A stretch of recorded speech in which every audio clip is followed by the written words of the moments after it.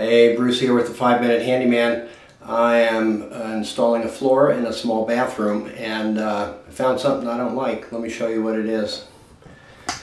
So we've got this corner of the where the tub comes up and the toilet was located here. Uh, when I pulled up some trim you can see I got some black mucky muck there on the on the edge of the trim. So let me uh, see if I can pull this up and show you what it looks like. I'm going to put on a mask here because I don't want to get any of the uh, mold or mildew in my lungs and I'm going to put on a glove so we can make sure that we keep uh, keep everything clean. Alright, so here's what I'm going to do pull this up. You can see here there's got some got a little bit of mold on the wood.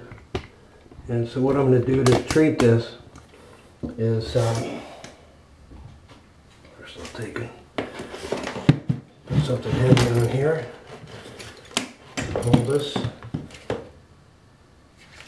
and then I've got a mixture here of of some Clorox and water. And so what I'm going to do is I'm going to spray this.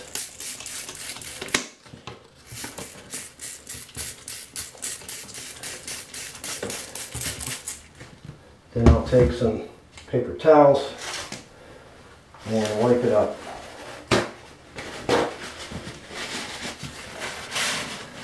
I just want to make sure that I'm real careful to not airborne any of these mold spores.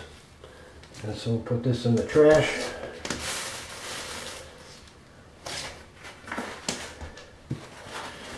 And just keep wiping things up until it gets to be clean.